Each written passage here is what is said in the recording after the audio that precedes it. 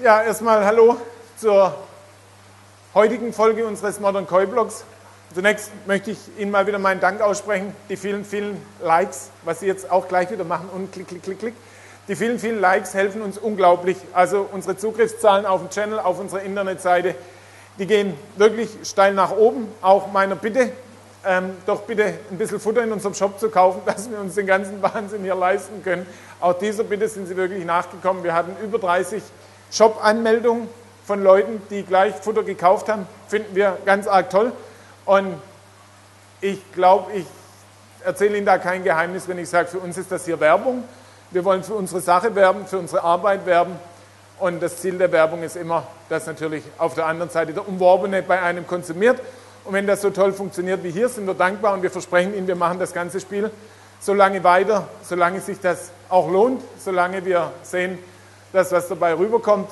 Aber ich da, bin guter Dinge, dass wir das auch noch in fünf Jahren so machen werden und dass wir irgendwann mal ein Riesensammelsurium an einzelnen Blogs haben, wo sich vom Profi bis zum Einsteiger alle irgendwie zurechtfinden werden. Heute mal ein ganz anderes Thema. Sie haben es in einem der letzten Blogs, ich muss immer aufpassen, ich weiß nicht, in welcher zeitlichen Reihenfolge ich die Dinger veröffentliche. Ähm, vor einigen Tagen war die Sandra Lechleiter da, um die Ausgangsuntersuchung für unsere Köllezurfische zu machen. Das war alles perfekt, Parasiten perfekt, KHV perfekt, also perfekt nichts da. Bakteriell überhaupt gar nichts, alles wunderbar, stark. Und jetzt steht die, also heute, wo ich den Blog aufnehme, in fünf Tagen steht die Auslieferung in die Köllitzer-Filialen ähm, bevor. Und da geht es darum, dass die meisten Köllitzer-Filialen haben ihren Koi im Freiverkauf. Das heißt, da ist nicht überdacht, die Fische sind außen, das wird zwar beheizt, aber das kann man ja jetzt nicht auf 20 Grad heizen. Wir haben Ihnen die Vorschrift gemacht, ähm, Sie sollen die Becken auf 14 bis 15 Grad heizen.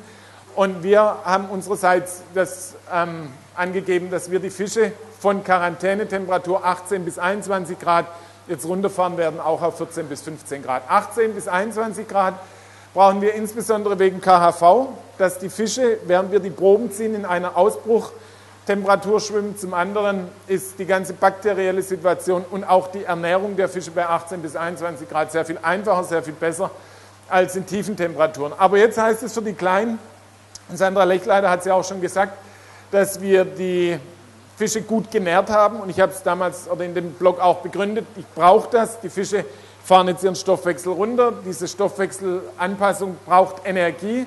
Die Energie kann jetzt direkt beim Umsetzen nicht wieder aus Futterenergie generiert werden oder nur schwer. Deshalb ist es mir lieber, die haben Reserven und können dann die nächsten Tage, ein, zwei Wochen auch von Reserven leben und müssen nicht nur auf oder sind nicht nur auf Zufütterung angewiesen. Ähm, ich erzähle Ihnen jetzt, wie wir Becken abkühlen. Und Sie denken jetzt, ach, das schalte ich jetzt weg, was interessiert mich das? Aber es kommt ganz am Schluss wieder ein interessanter Zusammenhang, den ich vor zwei Jahren hier entdeckt habe, der für jeden, der mal mit einem Quarantänebecken, mit dem Gedanken, ein Quarantänebecken anzuschaffen, oder auch eine Innenhälterung zur Aufzucht zu bauen, kann das hochinteressant sein. Also wir haben vier Maßnahmen. Fenster auf, Becken auf, Wasserstand absenken plus UV-Lampe ausschalten. Der Reihenfolge nach. Fenster auf, die sind aber nur tagsüber auf, nachts sind sie zu, verspreche ich Ihnen. Also wenn Sie Fische brauchen, wollen Sie hier nicht herkommen. Fenster auf ist ganz klar. Die warme Luft muss raus, kühle Luft muss rein. Zurzeit haben wir tagsüber zwischen 5 und 10 Grad, perfekt. Becken auf, auch klar, die Becken sind alle aus Kunststoff, Abdeckung aus Kunststoff. Das isoliert so perfekt, würde ich das nicht machen, würde ich nicht, habe ich jetzt vergessen zu sagen, ich will das Becken um ein Grad pro Tag abkühlen. Mehr sollte man auch nicht machen, auch wenn die Fische gut genährt sind und alles. Die Stoffwechselanpassung sollte langsam. Also ein Grad ist das Maximum. Und das eigentlich auch nur, wenn die Fische gesund sind. Sind die Fische krank oder konditionell angeschlagen, ist 2 Grad, äh, 1 Grad für zwei Tage empfehlenswert. Also Becken auf, dass die warme Luft aus dem Becken raus kann. Auch klar. Der dritte Punkt ist, wir senken den Wasserstand in dem Becken ab. Es ist schon wieder nachgelaufen. Das ist jetzt 20 cm tiefer als normal. Das werden wir auch heute wieder um 20, 30 cm absenken. Ähm, die Absenkung hat Folgendes ähm, zur Folge. Folgendes zur Folge. Und zwar, wir lassen hier ja Frischwasser rein und das nicht zu wenig. Im Normalfall sind es 10% am Tag, jetzt im Moment sind es 20 bis 25% am Tag. Klar, unser Frischwasser hier hat im Winter zwischen 10 und 12 Grad und jetzt geben wir da einfach eine Temperaturvermischung vor und so kühlt es uns das Becken aus. Aber, das ist auch klar, je geringer das Volumen und je größer das Volumen des kalt zulaufenden Wassers, desto höher ist der Abkühleffekt. Und Sie glauben gar nicht, wie schwer das ist, ein Grad bei 5000 Liter so einer geschlossenen Anlage abzusenken. Also daher die Absenkung. Aber einer der wichtigsten Punkte war, dass wir die UV-Lampe ausschalten.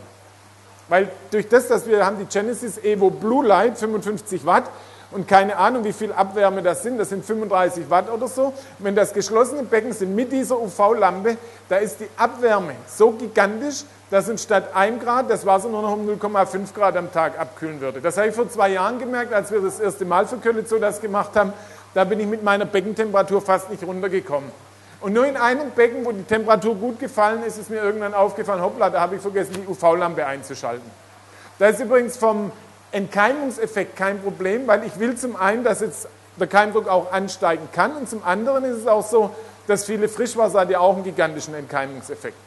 Und was das ausmachen kann, dass die UV-Lampe an ist, nein, wie Sie den Effekt für sich nutzen können, wenn die UV-Lampe an ist, denken Sie vielleicht an einem Quarantänebecken oder auch an einem Aufzuchtbecken, wo Sie viel Futter auf wenig, wenig Volumen, wo Sie, wo Sie unter den Bedingungen Fische halten. Denken Sie vielleicht darüber nach, isolieren Sie die Becken gut, machen Sie zwei UV-Lampen rein statt einer. Und durch die Abwärme in einem gut isolierten Becken kann das schon sein, dass Sie dadurch deutlich über die Raumtemperatur kommen und dass Sie da auch dann nicht über die Raumtemperatur, doch wenn das Becken abgedeckt ist, kommen Sie klar deutlich über die Raumtemperatur. So ist es bei uns ungeheizt, die Becken, also die Becken selber werden nicht geheizt. Wenn der Raum 20 Grad hat, hat dank dieses Aufbaus haben die Becken im Schnitt 22 Grad. Ich kann Ihnen das auch jetzt mal zeigen. Wir haben gestern erst angefangen abzukühlen. Dann zeige ich Ihnen Becken, zeige ich Ihnen jetzt Becken, eine Sekunde, Becken 1. Machen Sie auf. Hier hatten wir gestern eine Temperatur von 18,9. Jetzt haben wir, es jetzt schon wieder Mittagszeit, jetzt haben wir 17,4. Hier hinten, das sind unsere 1000 Liter Becken. Die sind noch abgedeckt, weil da sind keine Köllezoo-Fische drin. Und jetzt schauen Sie sich einfach mal die Temperatur an, die ist 21,3.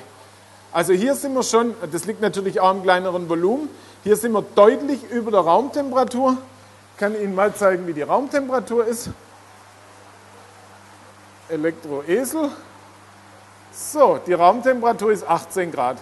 Komm, wir machen mal Product Placement. Schön, oder? So, ähm, 18 Grad, das Becken hier hat 21,3 Grad und die einzige Zuheizung, die ich hier habe, ist über die UV-Lampe. Machen Sie das für sich nutzbar, weil Sie haben dadurch natürlich auch einen gigantischen entkeimenden Effekt. Und hier können Sie mal schauen, Becken 1 haben wir 600 Milliliter Frischwasser im Moment. Das sind am Tag 700 Liter, gerechnet auf 3000 Liter, was wir bei dem Füllstand haben sind wir ungefähr bei 25, 30 Prozent Frischwasser. Auch diese Dinge kann ich Ihnen nur empfehlen, aber das machen wir alles mal zu einem separaten Zeitpunkt, was wir hier machen und auch was Sie da brauchen. Und ganz wichtig, diese Sprühflaschen. Desinfektion. Also in diesem Sinne, vielleicht konnten Sie was mitnehmen. Wenn nicht, ist morgen vielleicht wieder ein interessanteres Thema dran. In diesem Sinne, ich bedanke mich. Haben Sie Fragen? Schicken Sie sie bitte an modernkoi äh, will ich wissen, at modernkoi.de. Jetzt gucken wir mal, ob die noch Hunger haben. Haben sie.